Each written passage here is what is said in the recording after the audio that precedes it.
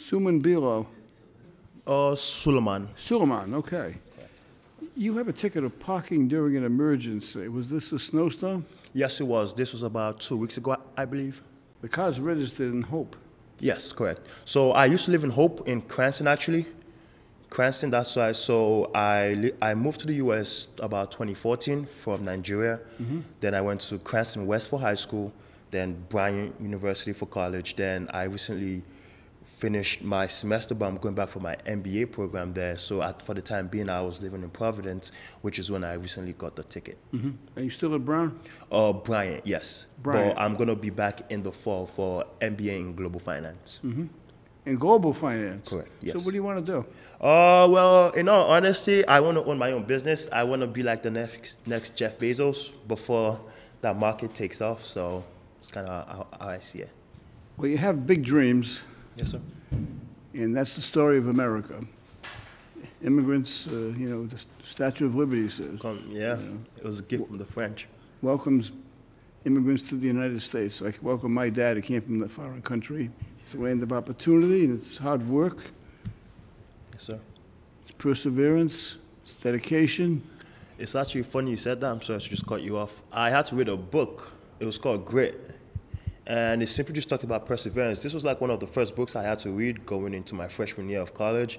And like reading that book, I was like, wow, like I actually can't wait to just meet very like different groups of people. And to be honest, this is my first time in front of a judge.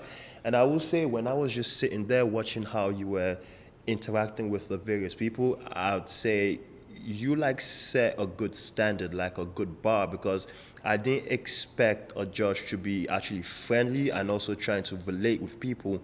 And also, you even having a conversation with the young man, I was like, that's literally the young kid seeing, okay, I can actually do something with my life. And if I actually wanted to, I could become a judge. So having someone like you up there is actually a good thing for the youth. So. Well, you're doing a pretty good job of buttering me up. Oh, I'm so sorry. I, I'm just gonna stop it now. I'm just gonna stop it now.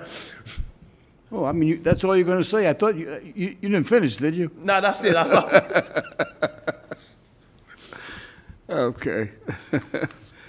Well, I'm going to make a uh, prediction that you're going to be very successful, right? Amen. You- And that's the game plan. Yep. You- So long as you're willing to work hard. I am Okay. always 24 seven. So the ingredients, are- I mean, perseverance is the greatest quality. Just don't ever quit, no matter how bad, tough things get. You know, just, just hang in there, I will, sir. you know. I'm going to give you a break on the ticket. Oh, thank you so much. So when you become a uh, billionaire like uh, Bezos, right, Yes, sir.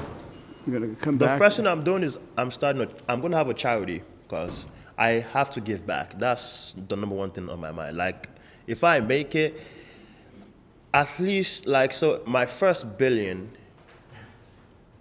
a hundred million is gonna go away from that into something for a good purpose. You're going to give, you're going to give 10% of your first billion. Like the ten percent is literally out of there from the start. Like I just know, like my my what's called first billion is actually not a billion. It's nine hundred million. Okay, now, if you had a billion today, To them, who would you give the 100 million to? uh, for one, cancer and kids in need. Okay, sir. Case is dismissed. Good luck to you. Thank you so much, sir.